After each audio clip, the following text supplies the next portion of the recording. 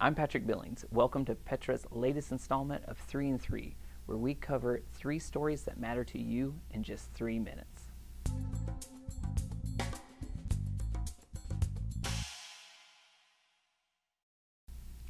About 15 years ago, the Internet of Things concept theorized that objects and people would connect wirelessly.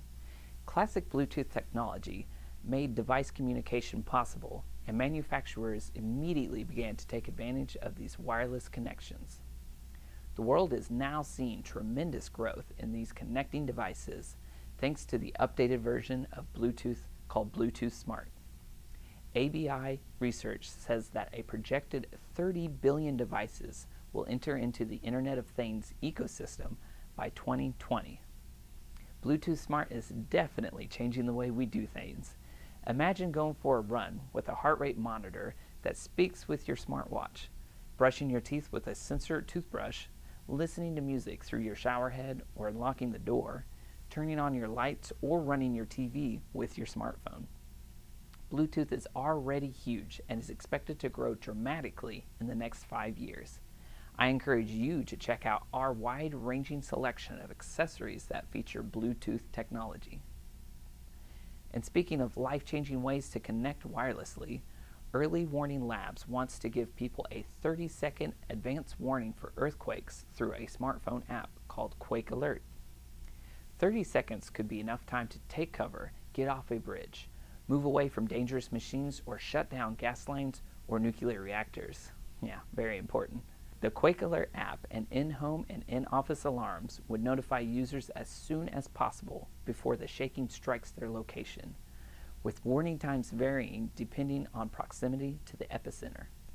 It would provide a countdown to when the shaking would start, an intensity estimate based on the user's location, and would also include tips on what users should do if they are indoors, outdoors, or in a moving vehicle.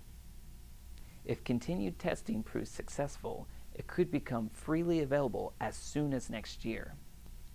A company called Link NYC is also doing something very cool for residents and visitors in New York City.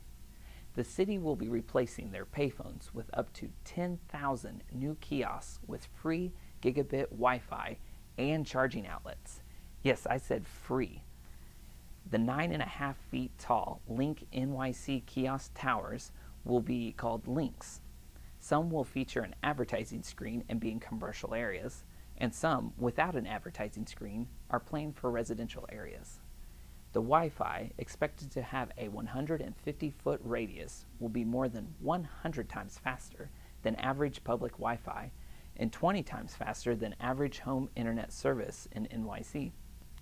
Each link will have built-in Android tablets with preloaded apps and charging stations for mobile devices and will provide free U.S. phone calls, including emergency and information, plus touchscreen interfaces to access city services, interactive maps, and public service announcements.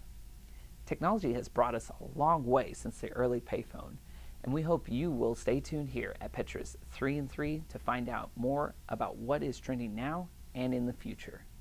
Be sure to visit petra.com to check out our great accessories as well.